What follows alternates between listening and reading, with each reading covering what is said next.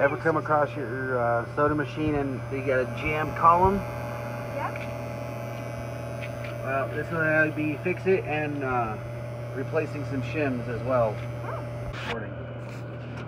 So you got to pull all the soda out and replace the shims. Well, I've had a shim problem on this machine since I got it, and I needed to replace some shims. Well, I've tried finding these shims everywhere on the internet, and I can't seem to find them.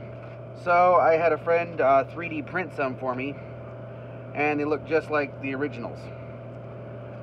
They work just as well, and for a fraction of the cost. So all I have to do is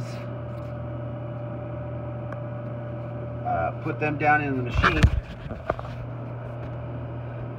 and it'll realign everything. Let's get this down in here.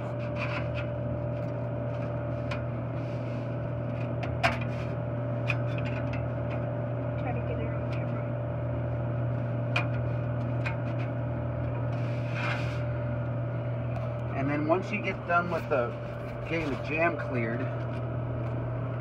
let me see if I can put some light on it down there.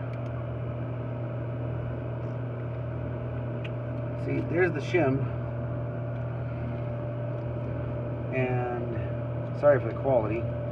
So what it's going to do is it's going to help get the cans back into alignment. Once you get the jam cleared, you have to get the, the motor reset. So what you do is you unplug this, unplug one of these wires, and it'll uh, re- it'll let the motor loose. Once you once the motor is not is not energized anymore, Yep. press the brake, it'll back off, and you can clear your jam. Once the jam is clear, reconnect the motor, and it'll finish its cycle. All right. Let's see here. So this is how it works after you clear the jam.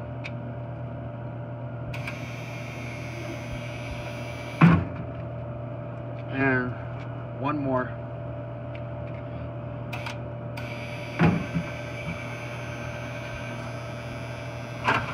And the column's no longer jamming because it's putting it's pushing the product into the proper spot.